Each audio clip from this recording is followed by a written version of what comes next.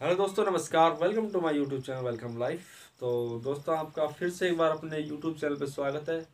तो कई दिन हो गए थे कि मैंने जो है वीडियो अपलोड नहीं किया था ड्राइविंग के बारे में। तो आज हम आपको बताएँगे कि बिज़नेस गाड़ी का बिज़नेस कैसे करते हैं। देखिए, जितना मैंने कुछ सीखा है, उस हिसाब से मैं आपको बताता हूँ कि गाड़ी का बिज़नेस पहले टाइम में किस तरीके से कर लिया और कैसे वो मुनाफा कमा गए। और आज के टाइम में आप कितना टाइम लग सकता है? देखिए, पहला जो टाइम था, उसमें सरकार इतना जो है ध्यान नहीं देती थी किसी भी चीज़ के बारे में और किसी, न ही इतने टोल टैक्स वगैरह और न ही इतना खर्चा था सरकार के थ्रू। तो देखिए मान लीजिए कोई टैंकर पुराने टाइम में टैंकर था। अगर कोई टैंकर एक टैंकर था तो एक टैंकर से भी मालिक बने हुए हैं।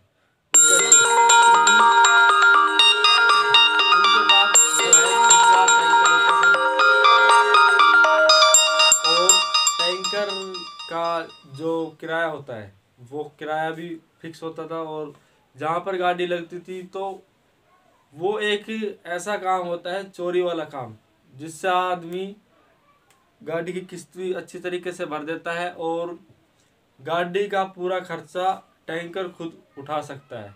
न कि उसे ज़रूरत है कोई और काम करने की। एक गाड़ी ही अगर टैंकर है तो वो पूरा खर्चा उठा देती है और अगर आप एक ट्रांसपोर्ट से जुड़े हुए हैं ट्रांसपोर्ट में क्या होता है कि फिक्स भाड़ा होता है आपका कि कंपनी टू कंपनी। अगर मान लीजिए आपकी गाड़ी भर गई बॉम्बे, गुजरात मतलब कंपनी से कंपनी, और अगर आप बिना ट्रांसपोर्ट के कोई पैसा कमाना चाहते हैं कि भाई मेरी गाड़ी फिक्स ना हो, और अलग अलग जगह पे गाड़ी लगी हुई हो, अगर मान लीजिए कंपनी में आपने गाड़ी को लगा दिया तो फिक्स रेट आपको मिलेगा, वही हिसाब से आपको जो महीने में पैसा मिलेगा। लेकिन अगर आप गाड़ी को किसी अलग ट्रांसपोर्ट में चलाते हो तो उसमें आपको कोई लिमिट नहीं रहता। है मान लीजिए कि टैंकर, एक नई गाड़ी आपने बना ली तो उसमें आपके चक्कर अब जितने गाड़ी आपको चक्कर लगाती है तो उस हिसाब से पैसे मिलते हैं कि हाँ भाई, आज सौ किलोमीटर, चार सौ किलोमीटर, पाँच सौ किलोमीटर, जितने किलोमीटर गाड़ी चलती है, उतने किलोमीटर पर आपको पैसा मिलता है। तो अगर आपको सीधी सी बात तो यह है, मेरे कहने का मतलब कि कोई भी काम है, अगर आप एक नंबर से करोगे तो कभी भी ज़िंदगी में कुछ नहीं कर सकते। थोड़ा बहुत आपको इधर उधर करना होगा, तब आप एक मालिक बन सकते हो। अगर आप ये सोचो कि हाँ मैं सीधे तरीके से कोई काम करूँ और एक बड़ा आदमी बन जाऊँ तो ऐसा बिल्कुल नहीं हो सकता।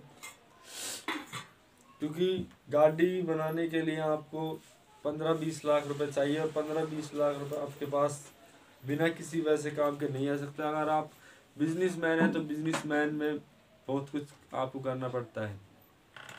अगर आपने शुरू के दिन ही कोई गाड़ी लिया और उसमें ऐसा कुछ मान लिया ठुक पिट गया तो आप कहीं के नहीं रहते। तो सोच समझ के गाड़ी बनानी चाहिए। सोच समझ के कोई काम करना चाहिए हमको। गाड़ी बनाना बहुत रिस्की काम है। अपने वैसे ही अगर आपके मन में है कोई बनाना तो ऐसी जगह गाड़ी को लगाए और बनाए कि उससे आप भी अपना रोटेशन करते रहें, आप भी काम करते रहें और आपको कोई प्रॉब्लम भी ना हो। तो अगर आप बेहतर रहेंगे, अगर आप एक टैंकर बनाए तो।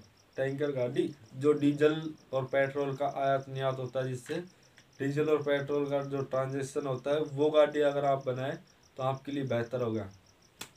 और भी कुछ आपको बिज़नेस के बारे में आइडिया लेने हैं तो नीचे सब्सक्राइब करके नीचे कमेंट ज़रूर कर देना। चैनल पर नए हो तो ठीक है। चलिए दोस्तों, आज के लिए इतना ही। मिलते हैं नेक्स्ट वीडियो में।